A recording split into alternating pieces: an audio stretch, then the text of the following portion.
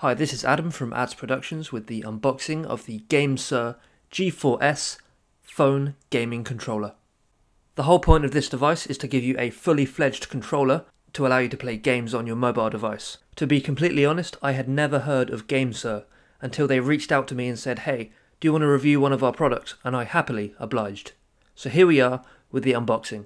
Now, as this company is relatively unknown, before I started to take it out of the box, I was expecting it to feel cheap, plasticky, just an off product, but it was far from that. You take it out of the box, the build quality feels great, it's got a decent weight to it, one that's not too lightweight and not too heavy, giving that perfect balance between usability and just overall product design. I know it's not about what the controller feels like and about how it handles, but don't worry, a review will be coming in a few weeks to go over just this, but for now this is just the unboxing.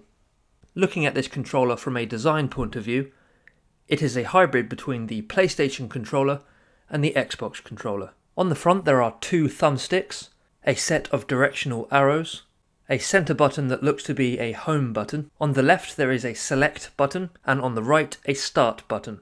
This also features letter buttons, more specifically A, B, Y and X, and these actually light up the same colours as the Xbox controller. Now, I'm not saying anything or pointing any fingers, but that is very, very similar.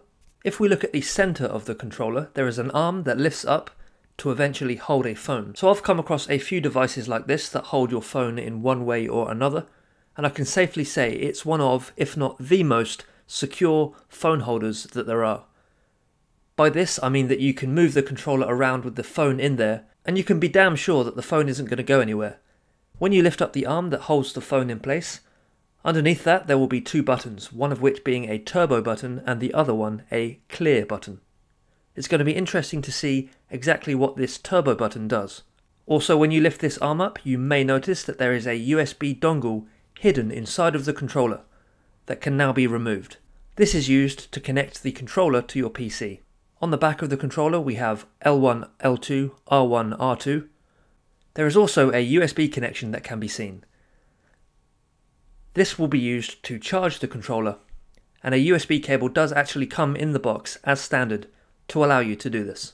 Thank you very much for watching. This has been Adam from Adz Productions with the unboxing of the GameSir G4S phone gamepad.